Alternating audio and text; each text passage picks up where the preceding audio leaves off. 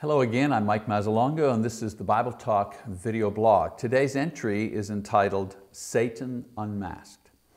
Well, I want to share with you the first thoughts that I had after seeing the 9-11 tragedy in real time on television on that terrible day. Each anniversary of that event brings all these memories back to mind. I dream about the plane circling against the blue September sky, slamming into the tower sending a torrent of flame on the unsuspecting. I'm angry that such horror exists and that the media torments the nation with its mindless repetition of the scene.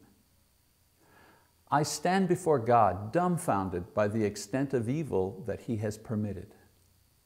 I move my lips in silent prayer and my words are insufficient to cover the sadness of what has happened.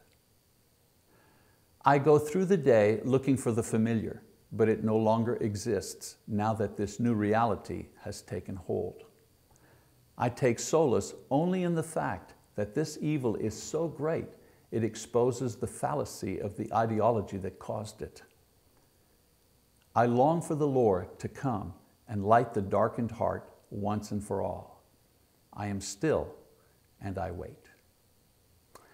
Well, that's it for today on Bible Talk video blog. I'm Mike Mazzalongo. We'll see you again next time. Bye-bye.